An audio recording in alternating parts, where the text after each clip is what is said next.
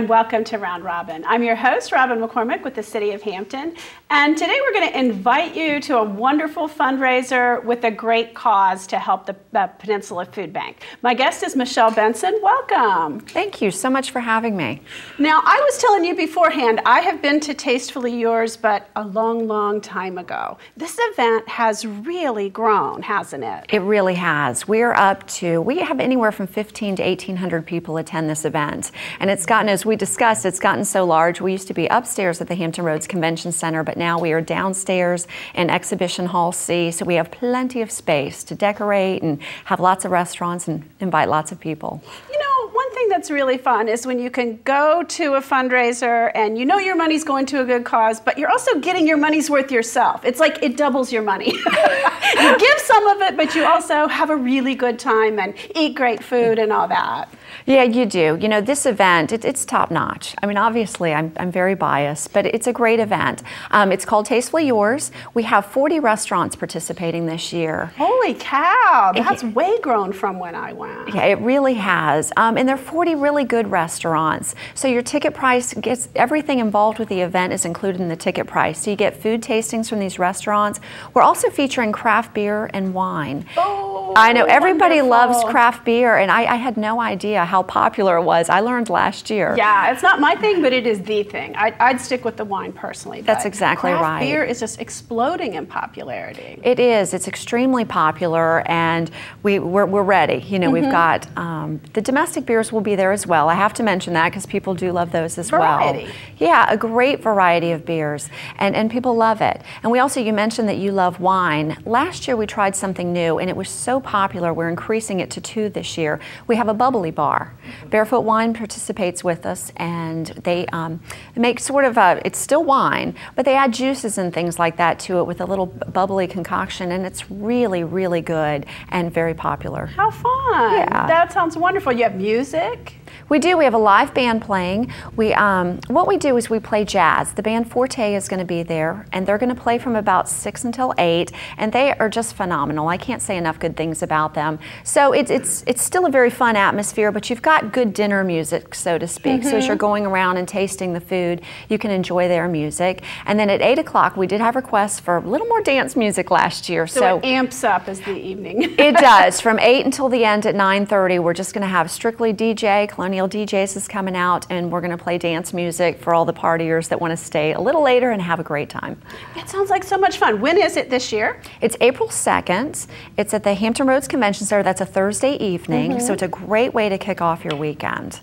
That sounds wonderful. Well, now let's talk a little bit more about the food bank and what this money. First of all, how much do you raise, and then what does the money go to? Okay, great. This fundraiser, this is our largest fundraiser of the year. We raise over $100,000 at this event. Wow, that's great. It's it's a phenomenal night for us. Of course, it takes a year to put together, but it's yes. a great night. Yes. And for every dollar that we receive, we can provide four meals. And the goal is to provide as many meals for people in our community as needed. You know, um, in the state of Virginia, the Virginia Peninsula Food Bank, our territory here has the highest food insecurity rate of anywhere in the state. And what that means is people are not getting enough food to a, no lead a normal, healthy lifestyle. And so our job is to help those people. And you know, those are people who may not be getting assistance regularly, but insecurity means, right, they're not really sure that they're going to get their next meal. It doesn't always mean that they're hungry, it just means they need help in the cracks. They're falling through the cracks to some extent. Absolutely. There's a lot of people, the people that we serve, they're either underemployed, which means they're just not making enough to pay their bills, or you never know. People have hardships that come up in life. They right. have a medical emergency, or the they have their car breaks down, and that is extremely expensive. Right. And when you're on a very regimented budget and you're going paycheck to paycheck, to have something like that occur, it, it's devastating. And so we kind of fill the gap where they need the assistance for you know a month, a couple of months, three months. You know, it just that's the majority of the people that we're helping. And again, you all are not necessarily directly always helping people. You do have some direct service to clients, but you have a network of agencies and nonprofits and churches that you give the food to, and then they can help distribute it. We do. You know your food bank. Well done, uh, Robin. for Day of Caring and different things like that. Oh, so. well, thank you so much. Yes, that's exactly right. We have almost 200 partner agencies. Most of them are faith based. And they come to our food bank and they shop for the food, they pick it up, and then they take it back out into the community. I mean, our service area is, is large. and so huge, yeah, we don't have enough employees to drive up to Gloucester and to drive up to Mathews and Williamsburg. And those areas are just as important to us, but we need those agencies to work with us to get the food from us and then take it back out into the community. Right, and when you're talking about people who need food, they don't have discretionary income to drive to your facility and, and to get what they need. They need those agencies in their neighborhood who where they can walk and pick things up. And you know, it's just it's a wonderful business model that you guys are the central agency. We are. We are the warehouse for all of it. And, and thanks for bringing that up. And there are things that we do internally right at the food bank. Um, again, food going out into the community. We have our Backpack for Kids program. We have 27 sites that we take backpacks to, and we pack 1,450 backpacks every week for 30 weeks during the school year. That's a lot of hungry kids. That's a lot of hungry kids. We also have our Kids Cafe program. Again, I don't know how this worked out, but we have 27 sites, and we prepare over a thousand hot meals a day at our food bank, and then those meals go out to our Kids Cafe sites, mostly boys and girls clubs, YMCA's. They're after school sanctioned programs where the kids already go after school till their parents get off work, but they're guaranteed a hot, nutritious meal every night that they're there.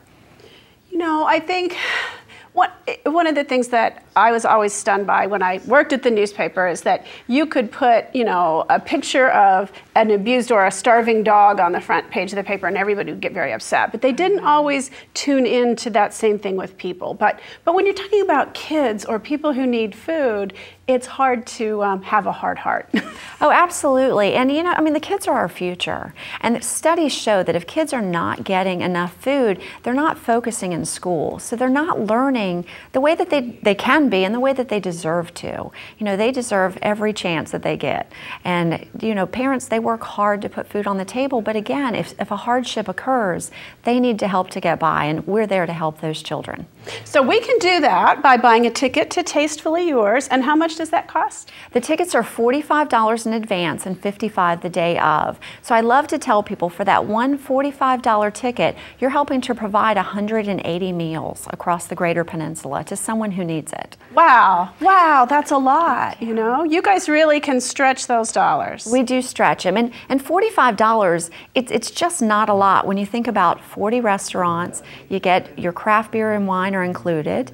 You get uh, the, the live music, you get the DJ and dancing. We have casino tables, a little mini Vegas area set up so you can have fun there. We have a silent auction where you can bid on items. You know, that's always fun. People love to compete. We also have photo booths that'll be set up in the corner so you can get together with your significant other or friends and, and dress up and do goofy pictures. That's always fun. Yeah, it is. So really, your uh, your your sponsors are providing the event essentially, or my forty-five dollars is going to the organization, or however you work it out. But it does feel like I'm getting my forty-five dollars worth and donating it as well. You, you absolutely are, and we really appreciate it. I'm glad you mentioned our sponsors. We had um, 13 new sponsors this year, so I'm just so excited that people in the community have really rallied around, around this event and are participating. And our presenting sponsor is the Disabled American Veterans Thrift Stores. We're so grateful to them. And then Bayport Credit Union, Ferguson, and Smithfield are also three of our, our grand sponsors. And without all of our sponsors, we could not put this event together. So we're just so grateful to all of them. Well, and it shows you what a regional event it is too. When you think of where those companies are based, I mean, some of them have multiple locations, but Smithfield, actually, Smithfield has been a pretty generous contributor of goods and money to the food bank um, in other ways too, haven't they? Oh, they are. They're not only do they help us tremendously financially, but we are very blessed to get Smithfield product donated to us pretty much on a weekly basis. And it's phenomenal. We all love Smithfield. Who doesn't love Smithfield? Right. And it's phenomenal product. And so they, you know, again, not only help us financially, but we actually get food in that our agencies can come in and take back out into the community. And that's, you know, kind of the most expensive thing is to be able to provide meat and protein um, can be a real challenge um, for your Well, it really is. And, and we're so grateful to Smithfield for all of their help and to all of our retail partners that donate food to us. You know, our goal is to get as much nutritious food out in, into the community as possible. And, and it, it's hard to do that. But because of our partnerships, we're able to do that and we're getting better. We're getting much more produce out into the community. And it's called a Foods to Encourage program. Now, see, now I'm going to start talking about healthy eating. And, and so it isn't just filling their bellies, it's filling their bellies with the right kind of food, with enough protein, with Right. enough fruits and vegetables to, you know, enable them to grow up healthy, to pay attention in school, to not have increased health costs. There's so many things that go into eating. It does. It all ties into healthy eating. And, you mm-hmm. know, childhood obesity is such a problem in our country. And we really, along with giving people, you know, and, and making sure they have a healthy meal, we also try to educate people on healthy eating. And so they can learn at a young age how to do it and hopefully take that into their future adult years because it, it's just so important. It is. Okay, well, before I um, get off on a tangent, let's come, let's come back to the event. And do you have anything else you want to say that I've forgotten to ask you about? Well, I just want to let people know it, it's a great, it's well worth the $45 ticket. Again, it's on April 2nd at the Hampton Roads Convention Center. It's And that's a Thursday night, so you kind of go roll right after work. You don't have to cook. It's a, it's a nice thing to do during right. the week. Start the weekend early, kick it off with a fun party. Um, it's at the Hampton Roads Convention Center, and you can get tickets. I should tell you where you can get tickets. Yes. Please go to hrfoodbank.org. You can order them online, or you can stop by the food bank at any point or any Bayport Credit Union location, and you can get tickets there. Okay, that sounds wonderful. Thank you, Michele. I Oh, Robin, appreciate thank it. Thank you. This has been so much fun. Thank you so much. Thank you. And wait, now if I buy my ticket, how many meals am I providing? You have to do the math for me. I'm not that bright. A dollar is four meals, so a $45 ticket is 180 meals. Okay, so you heard that out there. Come and get your ticket, support the food bank. Your donation gets you a wonderful um, evening of, of food and drink and dance, and also provides 180 meals that stay right here in the community for people who need them. Thanks for watching.